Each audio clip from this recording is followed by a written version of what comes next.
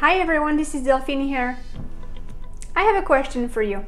How do you feel when a birthday wish comes to your phone or your email box? Or even better, into your post mail? How do you feel? You feel good, right? Feels like, ooh, somebody's out about me. Okay, now, do you celebrate people's birthday? Do you have a system to remember when their birthday is? Well, usually nowadays we use a lot of uh, Facebook help to remind us of the birthday.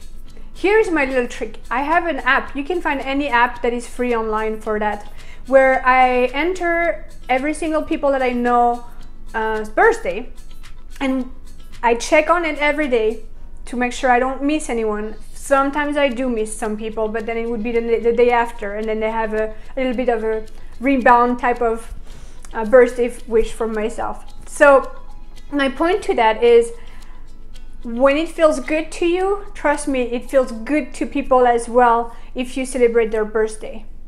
The other thing that it creates is that at least, you know, once a year at least, you get to check on with them, you know, check in with them and check how they're doing and give some updates. And sometimes, you know, for the longest time, you're not in contact with someone and life will put you back apart because all of a sudden you went through a very similar life event, for example. And you can support each other. It kind of recreate that this sense of community and harmony. So my message for today really is to put yourself in a system to remember other people's birthday and actually make the, the effort to go and check every day and send them a little note. Will, they, will this make them happy? For sure. What do you, how do you feel when you make someone happy? You feel happy. So it's win-win situation here. So start right now. There's no like, oh, I'll do that later. That's a good idea, but later. No, start now action now. You know, this is all of these life hack. They're good, like on they could be on a book. They are they can be a theory forever for the longest time in your life, but they're gonna be good for you only when you put an action on them. So start now, download that app or get yourself a little system that works for you. And you can start to bring a lot of happiness in a lot of people in your life and in return received all of this love and happiness.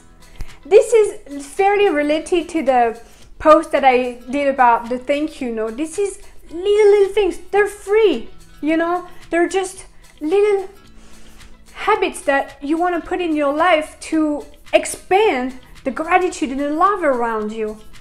And that really is feeling it that is really a good feeling to do that. So Thank you for listening to me again. Like, share, you can subscribe to my channel. You can comment and give me some ideas on or pain points that you have and I can find you some little system. I will see you in another video. Until then, be well, be happy, be you.